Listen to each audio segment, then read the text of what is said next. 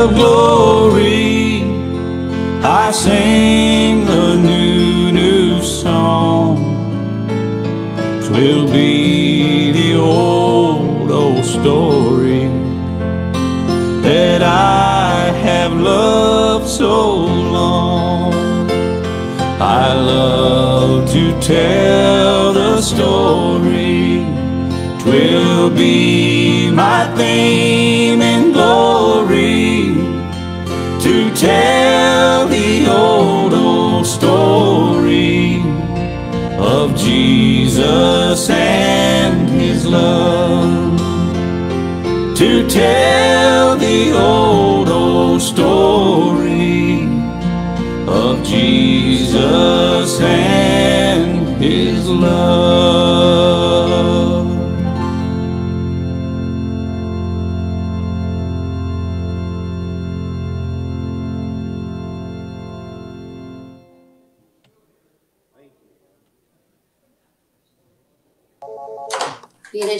B&H, how can I help you? B&H is here. From our homes to yours, as your collaborators, creative partners, and problem solvers. What type of photography do you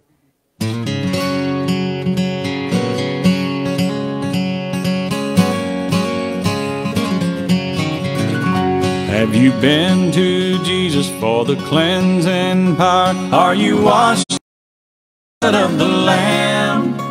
Are you fully trusting in His grace this hour? Are you washed in the blood of the Lamb? Are you washed? Are you washed in the blood? In the blood, in the soul cleansing blood of the Lamb? Are your garments spotless? Are they white as snow? Are you washed in the blood of the Lamb? I'd like to welcome each and every one of you here today. For those of you online joining us, we ask that uh, you uh, participate. You can sing at home. It's okay. It's uh, the Bible says make a joyful noise, and uh, that there won't be anybody else there to hear you. So maybe it'll be the best noise, and at the same time bring praises and honor to our Lord Master.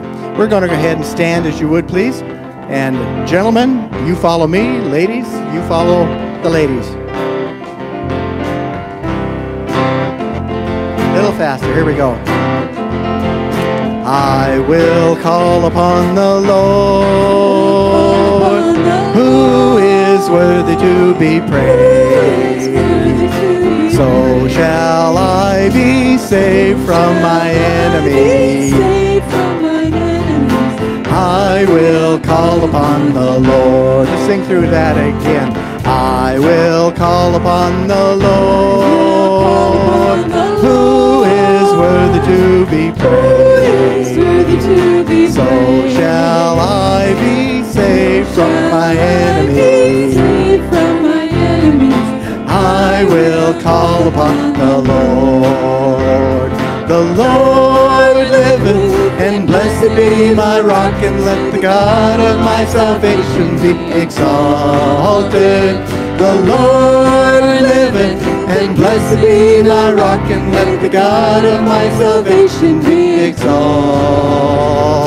Okay, you're all warmed up now. Here we go, and you're all warmed up. I will call upon the Lord, who is worthy to be praised. So shall I be saved from my enemies. I will call upon the Lord. I will call upon the Lord,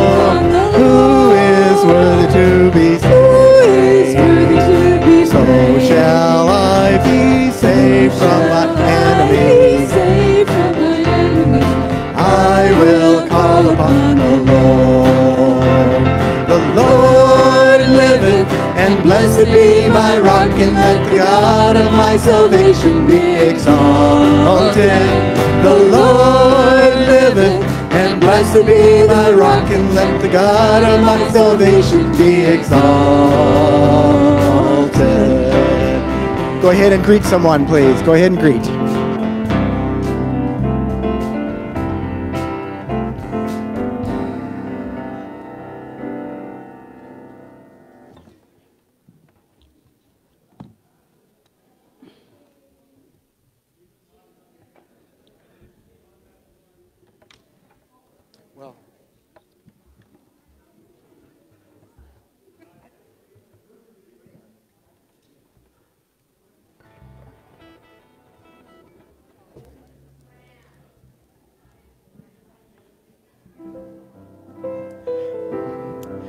Going to sing a hymn called Sing the Wondrous Love of Jesus. Let's all together do that.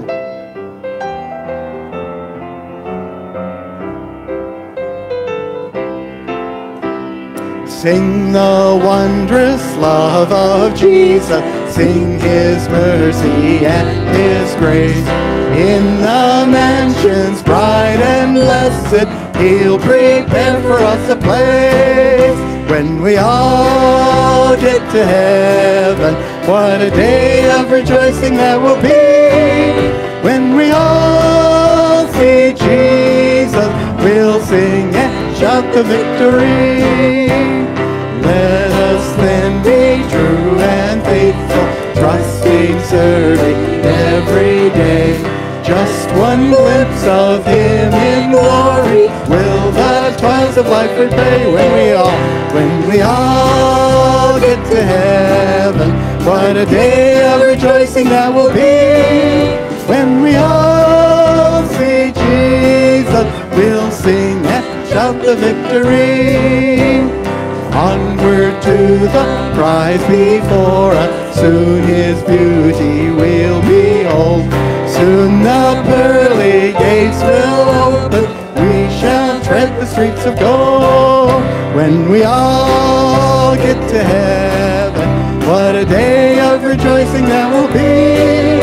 When we all see Jesus, we'll sing and shout the victory.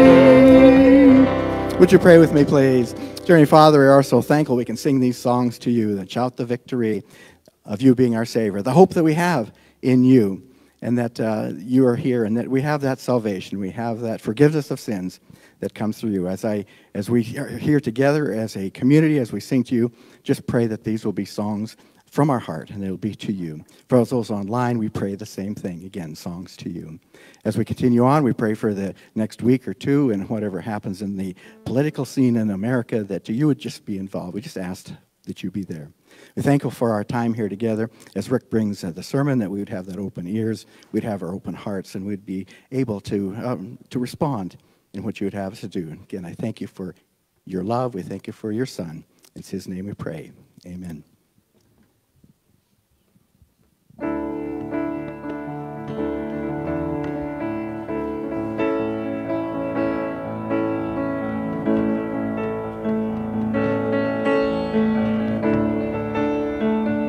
I was buried beneath my shame.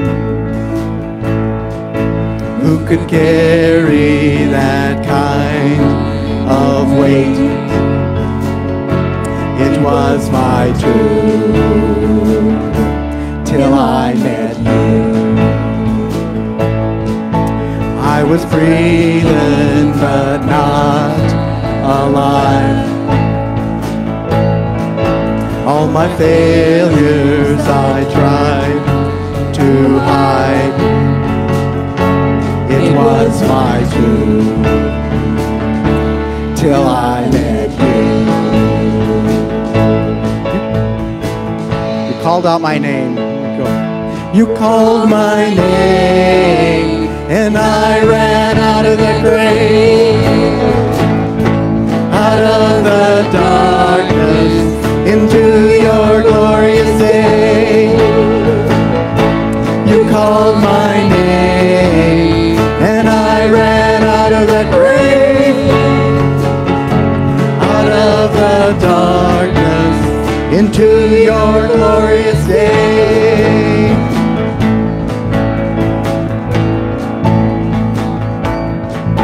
Now your mercy has saved my soul. Your freedom is all that I know. The old new when I met you. You called my name and I ran out of that grave out of the darkness into your glorious day. Called my name, and I ran out of the grave, out of the darkness, into your glorious day.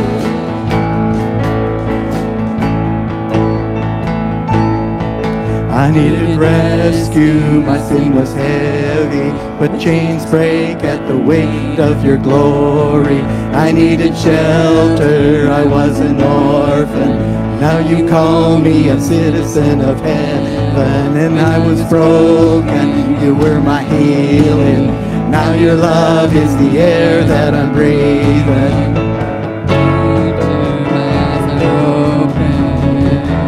Here we go. You called out my name. You called my name, and I ran out of the grave, out of the darkness, into your glorious day.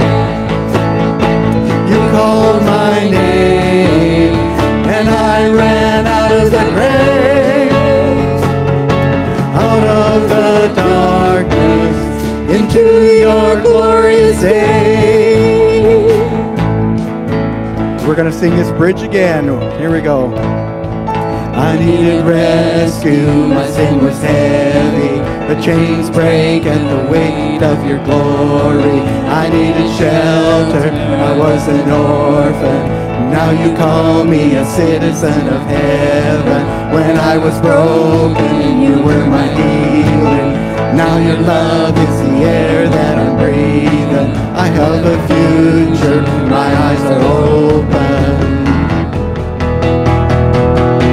You called my name, and I ran out of the grave, out of the darkness,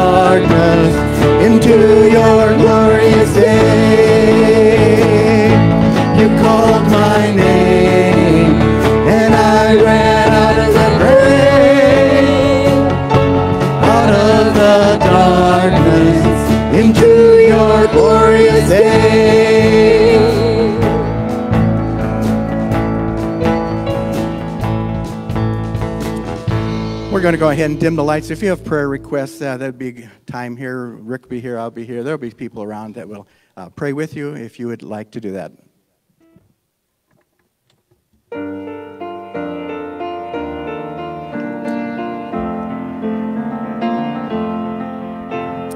He is exalted, the King is exalted on high. I will praise him. He is exalted, forever exalted, and I will praise his name. He is the Lord, forever his truth shall reign. Heaven and earth rejoice in his holy exalted, the King is exalted on high. He is exalted, for King is exalted on high. I will praise him. He is exalted, forever exalted, and I will praise his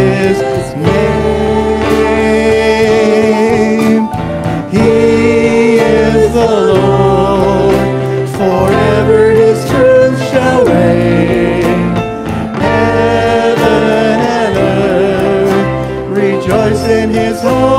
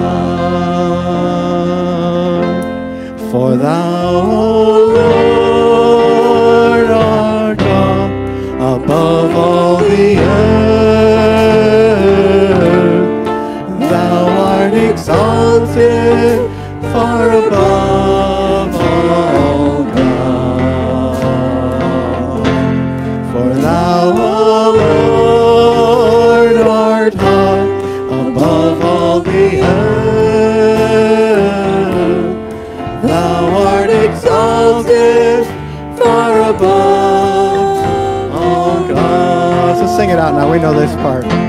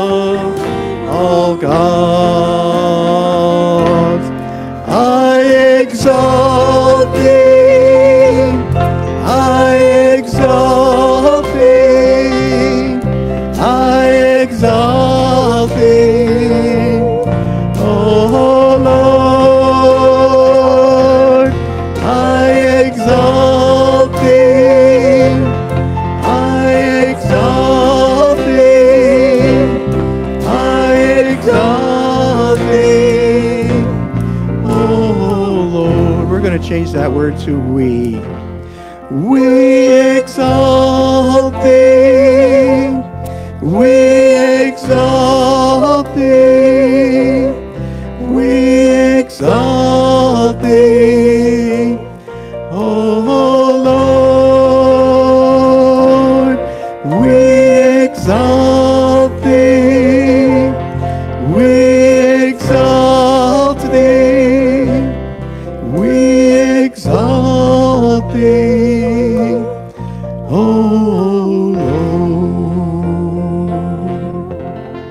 please be seated?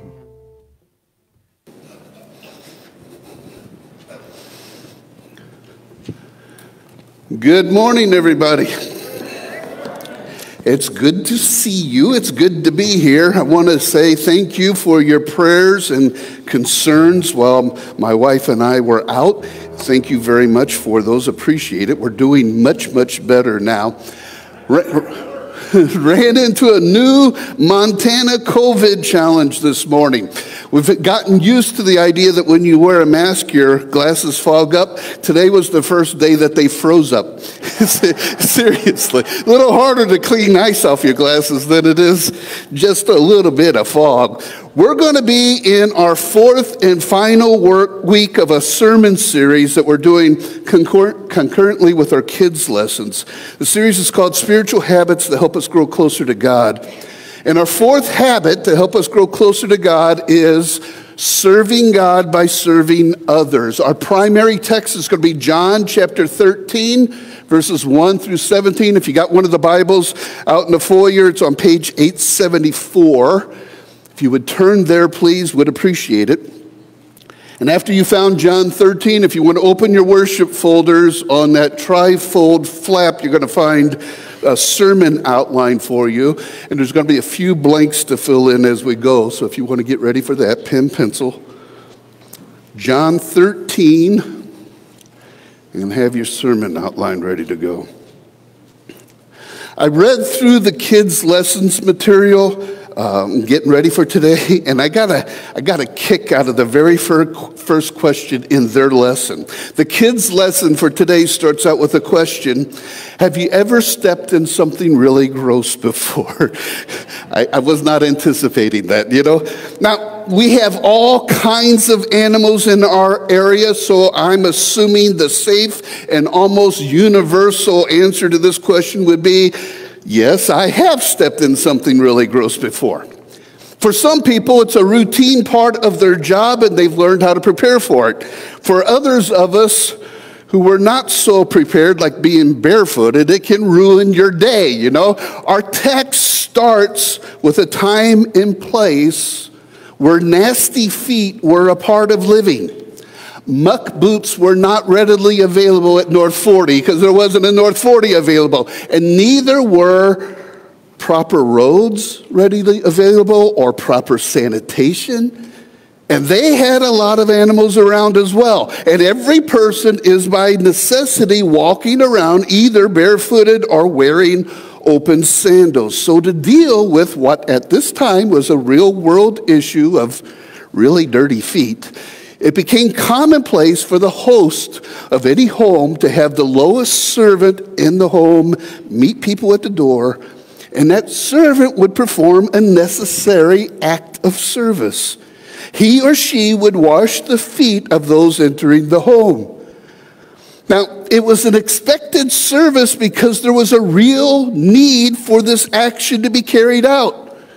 We ought to be able to get it even though we're not in a like situation. Have you, have you ever been in a room? Maybe it was a dorm room or a locker room or even your own living room. Unfortunately, sometimes it's even in an enclosed place like a plane that you're riding in. And somebody takes off their shoes or boots, and the smell is, shall we say, overwhelming, you know?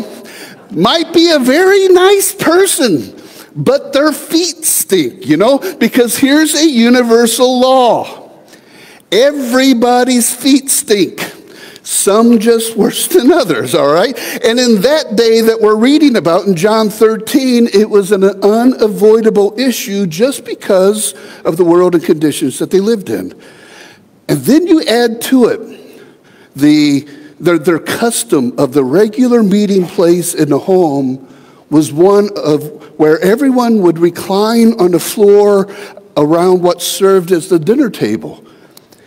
With all those nasty feet being brought up close to the table and the food and everybody's noses, and no matter who you are businessman, day laborer, soldier or servant, boy or girl, man or woman everybody's feet stink. Some are just worse than others. So, this custom of foot washing was an essential service. But it was still a nasty job, which nobody wanted to get stuck doing. Enter Jesus into the story. John 13, beginning with verse 1. It was just before the Passover feast. Jesus knew that the time had come for him to leave this world and go to the Father having loved his own who were in the world, he now showed them the full extent of his love. The evening meal was being served, and the devil had already prompted Judas Iscariot, son of Simon, to betray Jesus. Jesus knew that the Father had put all things under his power and that he had come from God and was returning to God. So he got up from the meal, took off his outer clothing, and wrapped a towel around his waist. After that, he poured water into a basin and began to wash his disciples' feet, drying them with a towel that was wrapped around him. He came to Simon Peter, who said to him, Lord, Lord are you going to wash my feet? And Jesus replied, You do not realize now what I'm doing, but later you'll understand. No, said Peter, you, you, shall never wash my feet. And Jesus answered, Unless I wash you, you have no part with me.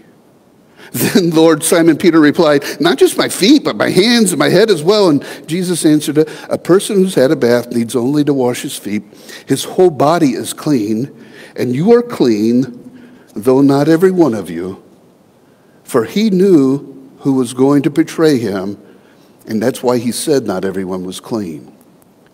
Verse 12 When he had finished washing their feet, he put on his clothes and returned to his place. Do you understand what I have done for you? He asked them. You call me teacher and Lord, and rightfully so, for that is what I am. Now that I, your Lord and teacher, have washed your feet, you also should wash one another's feet. Verse 15.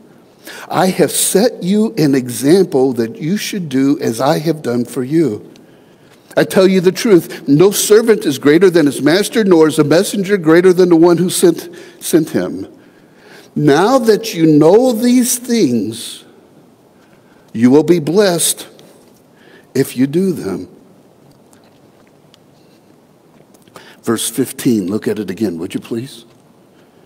I have set you an example that you should do as I have done for you. And I don't think he's talking about washing feet, folks. That was just this occasion. That's, that was a practical object lesson so that the men in that room and those of us gathered around today wouldn't miss the bigger lesson of God's love is rightly expressed by serving others. And if you want to grow closer to God, then you and I need to, on purpose, follow the example set by Jesus, offered not only in this, in this room that we find in John 13, but also by his life and death on our behalf. A living example that God's love is rightly expressed by serving others. Do you want to grow closer to God? Here's an example where Jesus says, where he promises, you will be blessed if, it's conditional, if you do this. Again, 15 through 17, I have set you an example that you should do as I have done for you. Very truly, I tell you, no servant is greater than his master, nor is a messenger greater than the one who sent him. Now that you know these things, you will be blessed if you do them.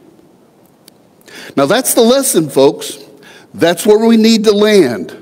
But for us to wind up there well, I want us to note a couple of things that Jesus demonstrated for us in the passage. Let's start with number one on your outlines. Would you get ready to fill that in, please? Number one, we're talking about the heart, right in the word heart, the heart of the servant. Verse one. It was just before the Passover festival. Jesus knew he knew that the hour had come for him to leave this world and go to the Father. Catch this. Having loved his own who were in the world.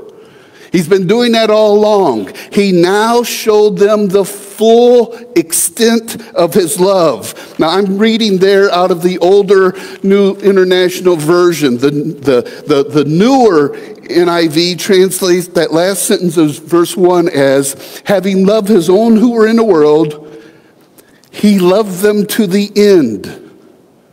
Literally, it means to the final goal. What we're talking about here is that in the whole range of Jesus' contact with his disciples, he loved them. And in the upper, in the upper room, he consciously made that the overriding issue this demonstration of love towards them. A few verses later in the same chapter, if you got your Bibles open, chapter 13, verses 34 and 35, that's where Jesus says, A new command I give you love one another. Here, as I have loved you, so you must love one another. By this, everyone will know that you're my disciples if you love one another. Now we got to hear verses 34 through 35 in context.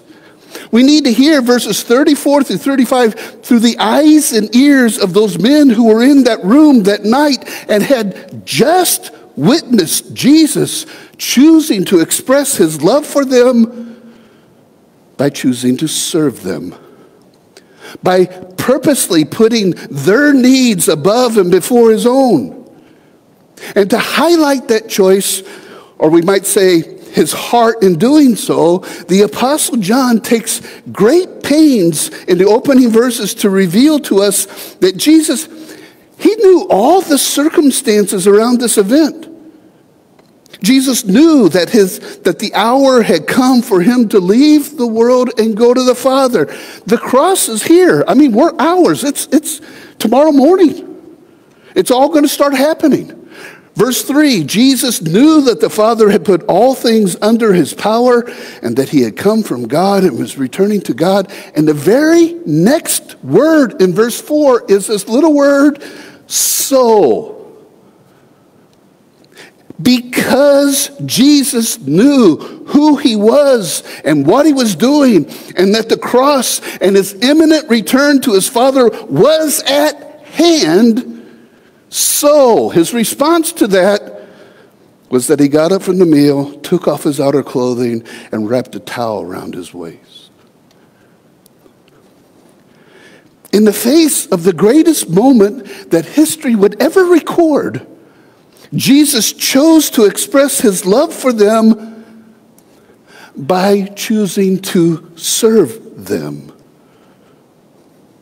Now, please hear me. If we want to become more Christ like, if we want to grow closer to God, if we want to mature in our faith, we need to seek the heart of Jesus and choose to make love the older, overriding issue of the day, just like he did on this occasion. And the way we might do that best is by number two on your outlines. By, ch- by purposely choosing to follow the example of Jesus. Would you write that in, please? The example of the servant. And I don't know about you, but I'm not able to view or consider the events of this night in the upper room without also hearing the Apostle Paul in his summary that's found in Philippians 2 5 through 9. Would you write that down as a reference? I'm going to read it to you, but just write it down as a reference. Philippians 2 5 through 9, where Paul says to the church, in your relationships with one another, have the same mindset as Christ Jesus, who, being in the very nature God, did not consider equality with God something to be used to his own advantage. Rather, he made himself nothing by taking the very nature of a servant, being made in human likeness and being found in appearance as a man, he humbled himself by becoming obedient to death, even death on a cross. Therefore, God exalted him to the highest place and gave him the name that's above every name. It's like this summary statement of who Jesus is and how he how he loved us. Jesus' whole life was dominated by service.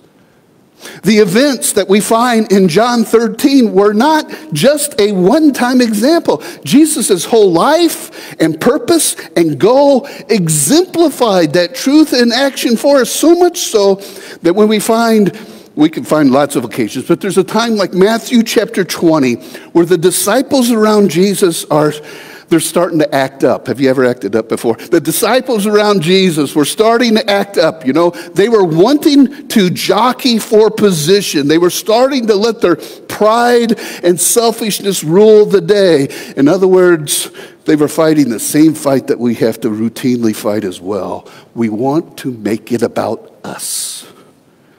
And let's not deny it. It's kind of like that universal law, like everybody's feet stink. So, likewise, it's a universal law that we all struggle with pride and selfishness. And according to the life and teaching of the one that we follow, the way to rightly deal with that hard issue is by following his example of service. Matthew 20, verses 25 to 27. We got a couple of the disciples that had just been kind of sneaking through the back door, trying to get Jesus to commit to letting them have exalted positions and all this. The other disciples find out about it. They're all ticked at these guys, you know, and, and there's this going on. Matthew 20, begin verse 25. And Jesus called them together and said, you know that the rulers of the Gentiles lord it over them, and their high officials exercise authority over them. That's the way of the world, trying to get on top. Verse 26 Not so with you. It, it's, it's to be different with you. Instead, whoever wants to become great among you must be your servant, and whoever wants to be first must be your slave. Verse 28, Matthew chapter 20. Just as the Son of Man did not come to be served, but to serve and to give his life as a ransom for many. Jesus was able to point to his own example, not just in the upper room one night in John 13, but he was able to point to his life lived and offered for us as our example to follow. Matthew 25, 26. Whoever wants to be great among you, you must, must be your servant, just as the Son of Man did not come to be served, but to serve and to give his life as a ransom for many. John 13 was not a one time event. But what we do see clearly in John 13 is that we see the heart of the servant in our Lord Jesus Christ. And we see the example of the servant as given by our Lord Jesus. And finally, we see on your outlines the challenge of the servant. Write it in, would you please? The challenge of the servant. Verse 12. When he had finished washing their feet, he put on his clothes and he returned to his place. And he asked them, Do you understand what I've done for you? And I think they got it. I, I, I believe they knew. In Luke's account of this upper room evening, we read in Luke 22, verse 24, a dispute Uh, arose among them as to which of them was to be considered the greatest. This is like repeat, all right? This is the, the same kind of argument that we found back in Matthew 25, where Jesus said that they were going to be different. That if they wanted to be great, they needed to learn to follow his example of being a servant. Except now in the upper room, we see, even with the cross only being a few hours away, the disciples, they were still arguing over matters of pride. And what we need to understand is that in that day, Usually, as far as I can tell, the custom of the day was when there was no servant present to wash the guest's feet, the first one or two to arrive would perform, would perform this service for the rest of the guests. But evidently, when we get to John 13, the first arrivals weren't in the mood to do so, you know. R. Kent Hughes writes, perhaps the whose greatest controversy that Luke talks about has actually begun as they journeyed there to the upper room. And then he says, they were willing to fight for the throne. Who gets to be closest to Jesus? But no one wanted the towel. And then Hughes closes with these words Jesus' action was a powerful lesson in servanthood and they were missing the point. So Jesus issues this potent challenge in verses 13 through 16, one that still stands to this day, even to those of us gathered in this room and watching online. You call me teacher and Lord, and rightly so, for that's, that is what I am. Now that I, your Lord and teacher, have washed your feet, you also should wash one another's feet. I have set you an example that you should do as I have done for you. Very truly, I tell you, no servant is greater than his master, nor is a messenger greater than the one who sent him. John Stott, he's this English preacher and author, theologian. He's recording He's recorded as telling the story of one Samuel Logan Brengle. Uh, here's his, his words. In 1878, when William Booth's, Booth's, I can't say that very well, Booth's, you can't say it when you're smiling, that's for doggone sure. William Booth's Salvation Army had just been so named. Men from all over the world began to enlist. One man who had once dreamed of himself as a bishop, this exalted position, crossed the Atlantic from America to England to enlist. He was a Methodist minister, Samuel Logan Brengle. And he now turned from a fine pastorate to join Booth's Salvation Army. Brengle later became the Army's first American born commissioner, but at first, Booth accepted his services reluctantly and grudgingly. Booth said to Brengle, You've been your own boss too long. And in order to instill humility into Brengle, he set him to work cleaning the boots of the other trainees. And Brengle said to himself, Have I followed my own fancy across the Atlantic in order to black boots? You guys know what blacking boots means? Shining them, you know. I, some people still do that. Anyway, shining the boots of the other. And then, as in a vision, he saw Jesus bending over the feet of rough, unlettered fishermen. Lord, he whispered, You wash their feet, I will black their boots. Jesus has set before us a challenge that can change our hearts and actions when we set it before us and take His word seriously. Do you want to grow? Late in the late 1990s, I drove with a bunch of men from our church in the St. Louis area to the RCA Dome in Indianapolis to attend a Promise Keepers gathering. I've told some of you this story before. The Promise Keepers movement was, was gathering a whole lot of steam at the time, and there's a whole lot of churches in the Midwest. So when we got to the RCA Dome, we joined what I would guess as anywhere from 10 to 12, maybe even 15,000 or more men gathered in the name of Christ. Gathered for the purpose of hearing truth to help us become better husbands and fathers and men becoming more like Jesus. There were several neat moments that weekend, like the singing it was cool to hear that many men singing hymns and praises as one voice. I'm, I'm, folks, I'm telling you, it was so cool that I had to stop every once in a while and just kind of take it in. It was, uh, heaven's going to be better, but that's what it made me stop. Like, this, this, is, this may be what heaven's going to be like. But there was one speaker that, that just shut down that whole arena that night. I don't remember who he was. I don't even remember what he looked like. But I remember what he said and what he had us do. He came from our passage in John 13, and at one point he had each of us in that place get down between the rolls and the RCA dome and go through the motions of like pretend washing the feet of the one who was sitting closest to us. Now, I was like what I assumed every other guy was there that night. I really didn't want to do it. You know, this, this, felt, this felt more than just a little silly. But when there are thousands of other guys getting up and do it, it's a little easier to get up and do it yourself. So anyway, got, and we did it.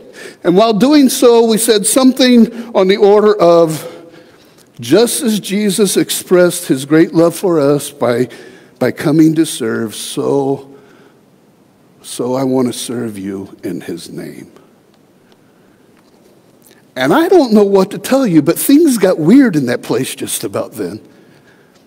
There were tears shed and hugs happened, and deeper conversations and confessions occurred, and bonds between brothers in Christ deepened. But the challenge was still to come. When we were finally seated, the speaker challenged us to go home and become the greatest servants in our homes and in our churches and in our communities. But he said, you, guys, you better start in your homes.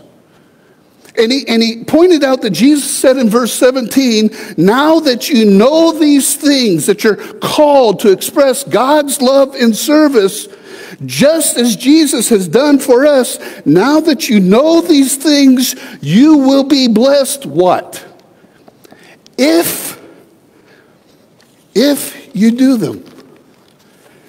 And then the speaker appealed to our competitive nature as guys, and he dared us to go home and be the biggest servants around. He said, he said Don't you dare let your wife steal your blessing. You know, How, don't you dare let her outserve you. You show people what serving in love really looks like. And that's all that we talked about for the rest of the night and on the long ride back to St. Louis the next day. But Jesus didn't tell us to just talk about serving, did he? His promise of blessing wasn't even attached to just teaching or preaching about serving either, right? The heart and example and challenge of love demonstrated by service as set forth by our Lord. Now that you know these things, you will be blessed if you do them. So, full circle, right back to where we started. If you and I want to grow closer to God, then you and I need to, on purpose, make it a habit to follow the example set by Jesus that he offered not only in the upper room that night that we find in John 13, but also by his life and death on our behalf. That God's love is rightly expressed by serving others. One more time. I know you've heard it. This is like the fifth time through, but it's the point, so I don't want you to miss it. One more time. Here's the challenge set before us by the Lord. I have set you an example that you should do as I have done for you. Very truly, I tell you, no servant is greater than his master, nor is a messenger greater than the one who sent him. Now that you know these things, you will be blessed. What? If you do them.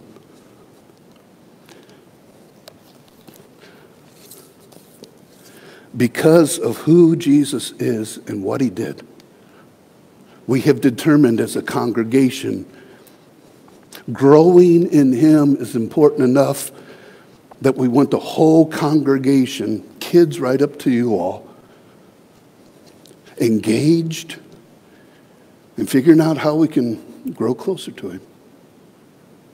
So we've, we've set some habits before you.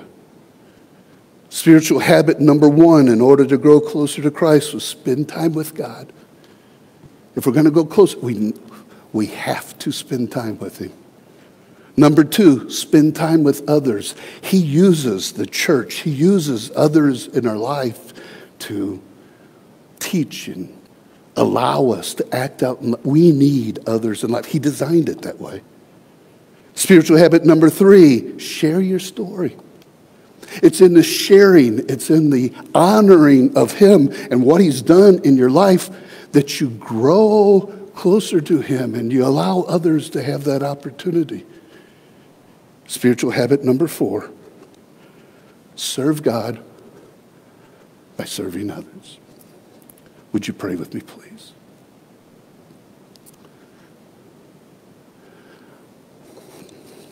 Father, we started off by talking about a time, time in history that was a little bit different, where there was an act of service that you used as an occasion to teach. I pray, please, that you give our hearts the understanding, the desire to go home and look for an occasion, whatever that may be, an occasion to demonstrate your love by serving. That, that, that, would become a habit of our heart. It would, and by doing so, it would change our actions. And, and you can use us to, to not only share the love and truth of Jesus, but to, but to make us more like him. I pray this, please, Lord. And I thank you. I thank you for showing us what love looks like. May, may we, your children that you've set apart, may you please find us becoming more like you in this way. It's in Jesus' name I pray. Amen. I'm going to ask that you stand. We're going to sing a song here. Our example has always been God's love demonstrated to us first, and that's what we're going to sing and celebrate right now. Would you stand and sing with us, please?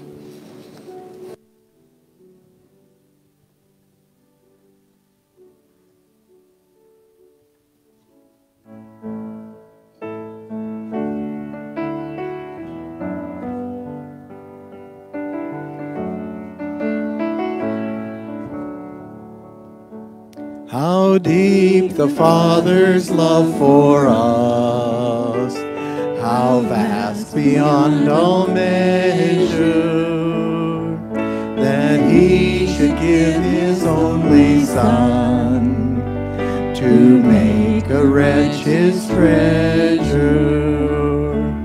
How great the pain of searing loss! The Father turns His face away, mar the chosen one bring many sons to glory. Behold the man upon a cross, my sin upon his shoulders.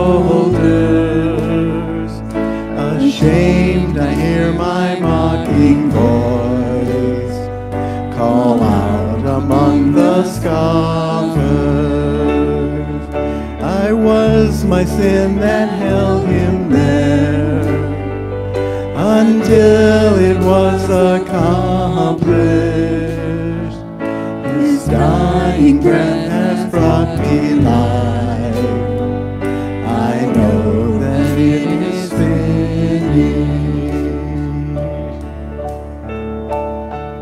I will not boast in anything. No power, no wisdom. But I will boast in Jesus Christ, His death and resurrection. Why should I gain from His reward? I cannot give an answer. But this I know with all my have paid my ransom. Sing up again. Why should I gain from his reward? I cannot give an answer. But this I know with all my heart. His wounds have paid my ransom. But this I know with all my heart. His wounds have paid my ransom. Would you please be seated?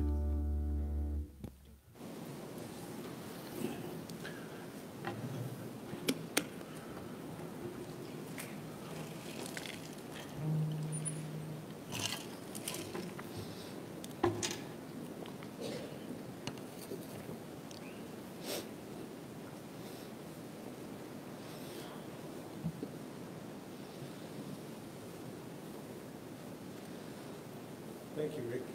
You know, I do believe that the example that Jesus set in the foot washing is probably the most humiliating to us to, to read and to see. And you notice that Rick said at the beginning of his sermon that in the household it was the lowest, uh, the lowest servant on the totem pole. They got stuck doing that job when they had guests come. So, the thing is, we as we think about that scenario and that story and how that relates to our lives today, what does Jesus expect of us in our life today, according to that story? I'd like to go over just a couple of chapters in John 15, and starting with verse 12. Jesus says, My command is this love each other as I have loved you. Now, Jesus took on the form of a, a, a the, low, the lowest servant to show his love for us. And that's what he expects of us. Going on in this, it says, uh, Greater love has no one than this, to lay down one's life for one's friends. You are my friends if you do what I command. I no longer call you servants because a servant does not know his master's business.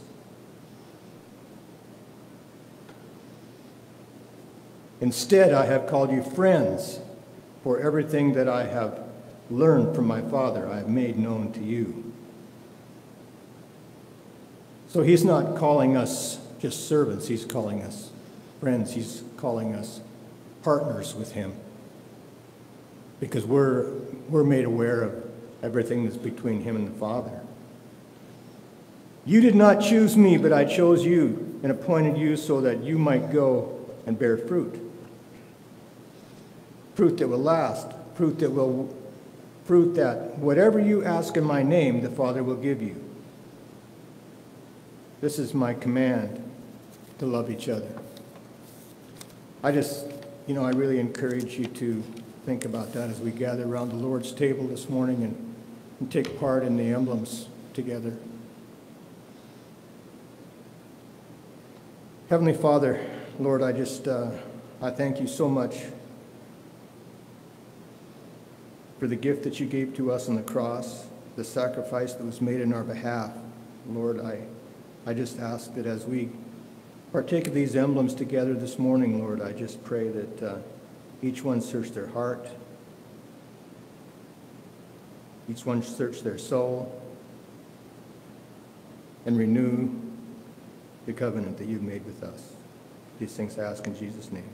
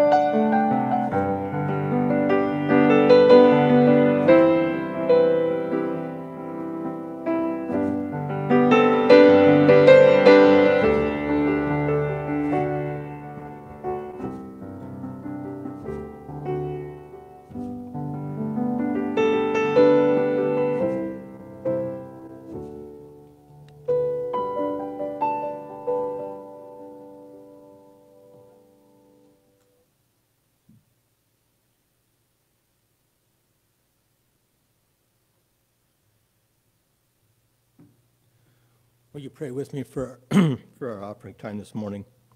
Lord, we thank you for each one here today. Father, we just ask that as we uh, give back to you uh, a portion of what you've blessed us with, Father, we just ask that you uh, um, use it as you see fit within your kingdom. Grow your kingdom, Lord. Uh, Lord, we ask your blessing and thankfulness for each one here today as they give. These things I ask in Jesus' name.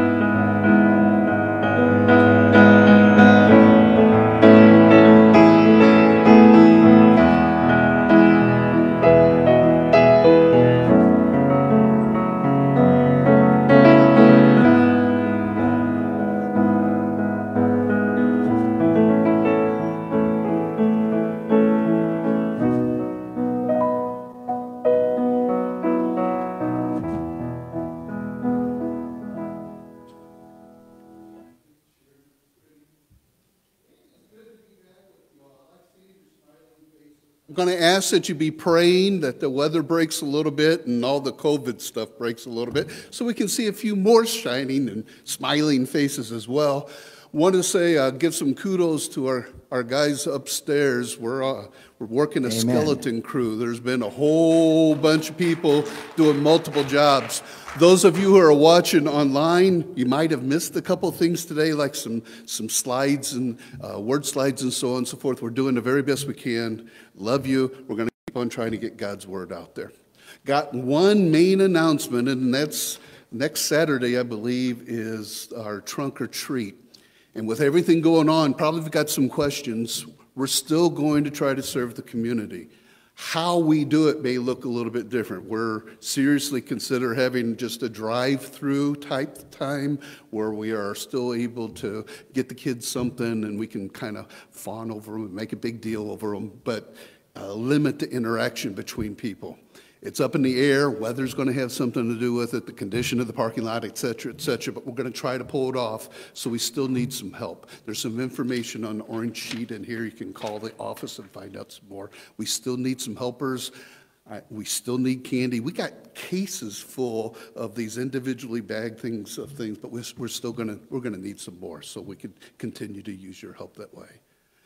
Going to ask you to stand. I want to speak one more quick word at you. Would you stand, please?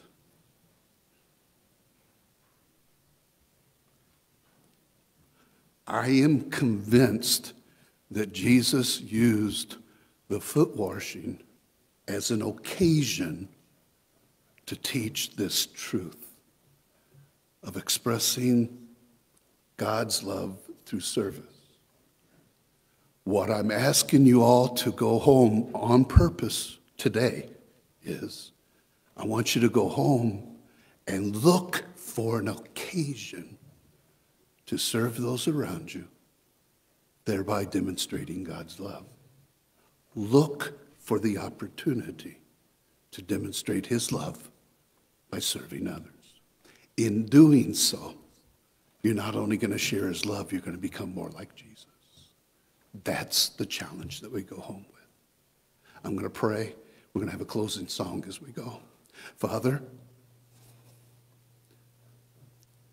Thank you for blessing us in such a real way through the person of Jesus Christ, your Son, his life, his death, the hope of his resurrection. Bless us, please, with a heart like his that looks for occasions to serve others in your love. We want to become more like you. Help us in this way, Lord, please. It's our prayer. It's in Jesus' name I pray. Amen. Amen. We're going to close with a closing song. We're going to do a third verse of Sing the Wondrous Love of Jesus again. Here we go. Give me the chord. Onward to the prize before us, soon his beauty will behold. Soon the pearly gates will open, streets of gold. Now, when we all get to heaven, what a day of rejoicing that will be. When we all see Jesus, we'll sing and shout the victory. Have a great week. We'll see you next time.